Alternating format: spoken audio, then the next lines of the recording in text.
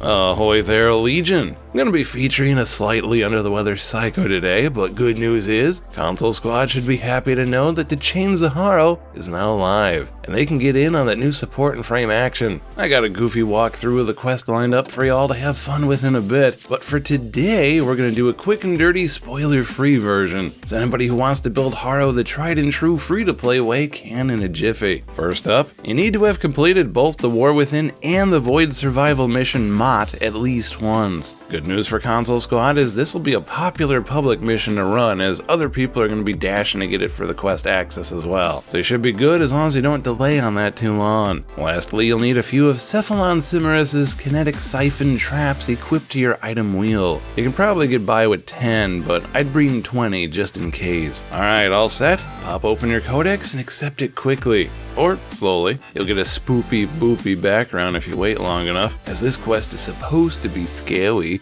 It's not, but it's supposed to be. You'll first be investigating a distress call, but after some minor sleuthing, it'll turn into a rescue mission. Defend the target against a very easy zombie rush, if you can even call it that, then hit extraction. Head out to Iron Wake and talk to the chick, but she's got like zero bars and needs us to boost her network a little bit, so go do a quick gopher mission on Pluto to get her an autistic antenna. Give that to the chick, she'll slide into his DMs and want us to break out the kinetic traps instantly because apparently she's into that sort of stuff. I mean, to be honest, the whole mask thing kinda gave it away, so no surprise there. The next phase of the quest involves one simple task. Find the cartoonishly designed NPC, drop a trap close enough to ensnare him, and kill it before it gets away. Enemies will try to stop you, but what you gonna do? Now you just gotta do that exact thing over and over again, a little under 10 times.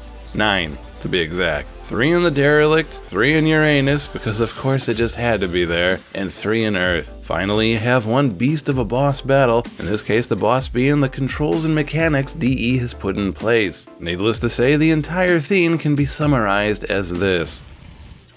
15 minutes of this, and the worst round of Hearthstone I have ever seen. For all your efforts, you're rewarded with a solitary blueprint and having to farm up all of Harrow's parts yourself. Remember when quests used to reward parts like Titania?